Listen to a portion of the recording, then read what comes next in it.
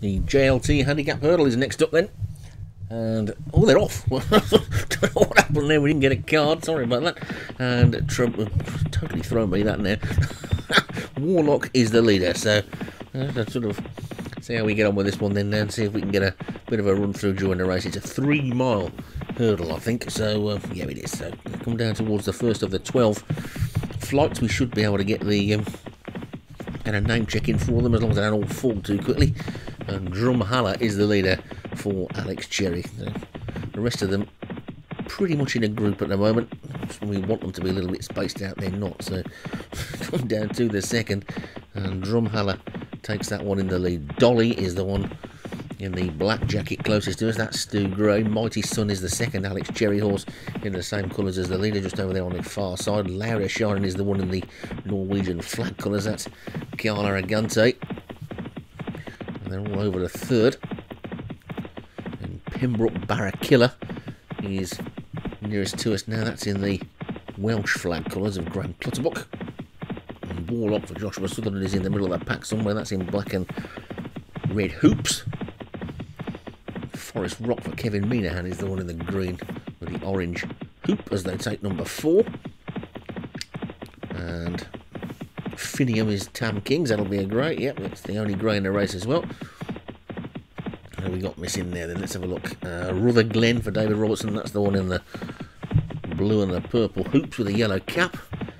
Scarfiotti in the blue. There's two in the blue. Trabago and Scarfiotti. So, not sure which one's which at the moment. One's on the inside, one's towards the outside. Uh, the one in the green is Brer Rabbit, that's mine. And then the yellow of Murfreesboro, that's Sirius Chillerby one. And the second Kevin Minahan horse, Tango Orange, is just at the back marker. So I think, with the exception of not knowing which is which between Scarfiotti and Trabago, we've just about got it sorted out. So they're over that one then now. And they've still got two miles to go. And Drumhallah is the leader from Finium second. Louder Shining is third and Dolly is fourth. Then Pembroke Barrakiller and Forest Rock Mighty Sons after that one. Then Rutherglen. Looks like Scarfiotti is the lighter coloured horse of the two James Follis ones. The black horse towards the back is Trabago, or Trabago, whatever you want to call it. The back marker is Tango Orange.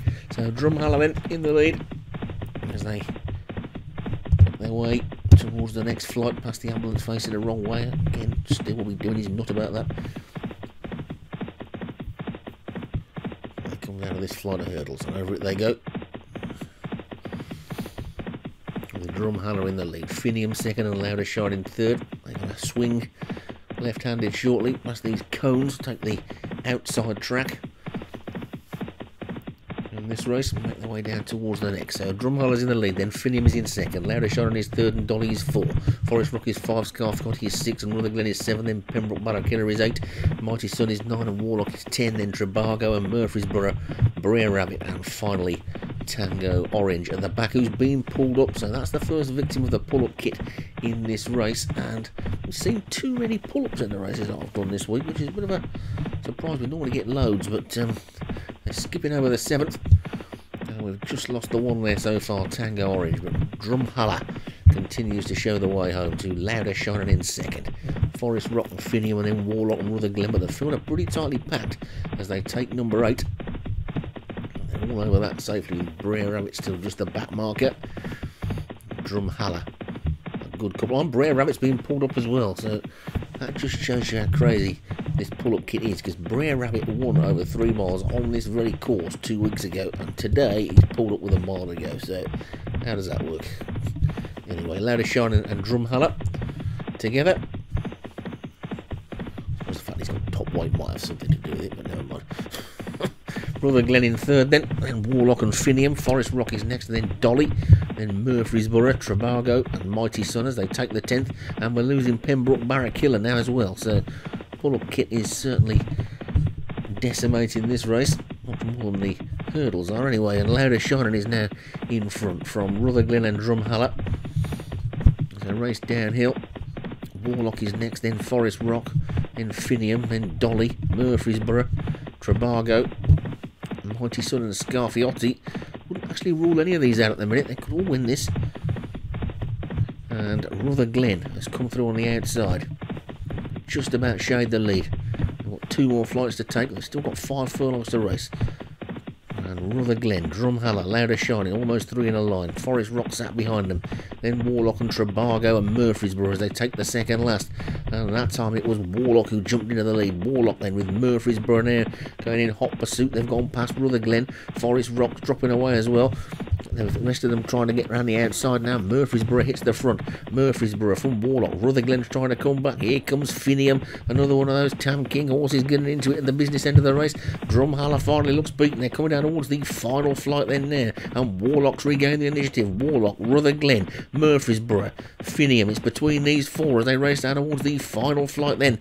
And they come to it with Warlock about a length clear of Rutherglen in second. Then Finium and Murfreesboro. Trebargo and Dolly trying to run on over the final flight they go. Warlock got over it best, got away from it best. Rutherglen's trying to chase. Then comes Murfreesboro. Finium's not going to win.